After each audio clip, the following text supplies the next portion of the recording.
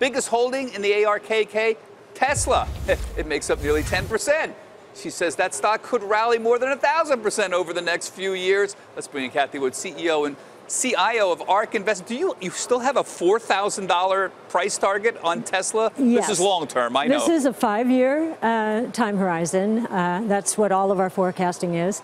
4,000 is the bull case, 700 is the bear case. It's rare, it's rare for us to have a stock that meets our minimum hurdle rate of return in the bear case. So it's north of 15% compound annual rate of return to get to our bear case target. Give us the 20 second case for why Tesla could go to 4,000 in five years. Yes. Uh, well, first, they are scaling the electric vehicle market. We think the electric vehicle sales in two, uh, 2023 will be, uh, in total, globally, 23 or 26 million units, up from 1.3 million last year. So that's a 20-fold increase.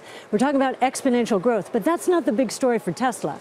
The big story is autonomous taxi platforms. We're moving from a hardware-centric, low gross margin model, which is 25, 30 percent, to a transportation as a service model. They'll get uh, a piece of the of every ride taken because they'll own the platform uh, that these fleet operators will be riding on.